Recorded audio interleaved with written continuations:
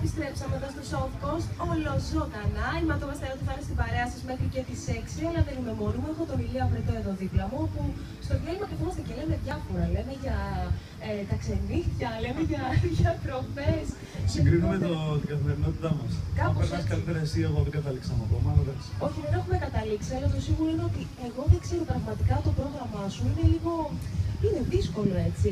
Κοίταξε, αυτή τη στιγμή που βρίσκομαι σε μια πολύ πολύ μεγάλη περιοδία, η οποία από την επόμενη εβδομάδα θα έχει πάνω από 5 με 6 σταθμούς την εβδομάδα, αντιλαμβάνεσαι ότι ο φόρτος εργασίας, τα συνεχόμενα ταξίδια, η αϊπνία και όλο αυτό το πράγμα είναι μια κούραση που ε, βρίσκεται στις πλάτες μου και θα βρεθεί ακόμη περισσότερο.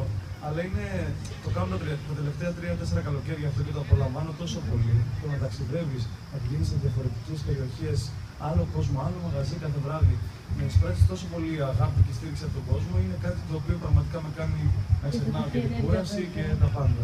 Για πες μου λοιπόν τώρα λίγο για το πρώτο σταθμό εδώ στο South Coast, στη μεγάλη συναυλία που θα κάνουμε εδώ δίπλα στη θάλασσα. Λοιπόν, χαίρομαι πάρα πολύ για όλη αυτή την προσπάθεια. Ήταν να γίνει δύο εβδομάδες πριν. Ε, Μας τα χάλασε λίγο το πολιτικό-κοινωνικό σκηνικό. Αναγκαστικά θα έπρεπε να μετατεθεί. Και για τι 22, λέω λάθο 22 την επόμενη Τετάρτη. Συγχωρέστε με, αλλά έχω Ολόκληρο πολλές- θα τα έχω πολλές ημερομηνίε στο μυαλό μου και πω κάτι λάθος. Λοιπόν, μαζί με άλλους 19 καλλιτέχνες, 20 θα είμαστε στο σύνολο, αν δεν κάνω λάθος, κάπου εκεί, λίγο πάνω, λίγο κάτω.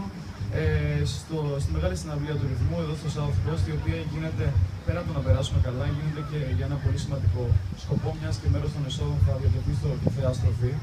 Οτιδήποτε έχει να κάνει με θετική ενέργεια, με καλοκαιρινή συναυλία, με ένα ραδιόφωνο πολύ μεγάλο όπως ο ρυθμός και με κάτι το οποίο ε, περιέχει φιλανθρωπικό σκοπό, εγώ προσωπικά είμαι μέσα, ανυπομονώ, να βρεθώ στη σκηνή του ρυθμού και περιμένουμε και προσκαλούμε όλο τον κόσμο να ανταποκριθεί στο κάλεσμά Έτσι. μας για να περάσουμε πάνω απ' όλα καλά, να ξεχαστούμε, να διώξουμε το φόβο και την αρνητική ενέργεια και μέσα από όλο αυτό να βοηθήσουμε και ανθρώπους που έχουν πραγματικά την ανάγκη να Και να πούμε βοηθηθούν. ότι θα είστε και πολλοί καλλιτέχνε.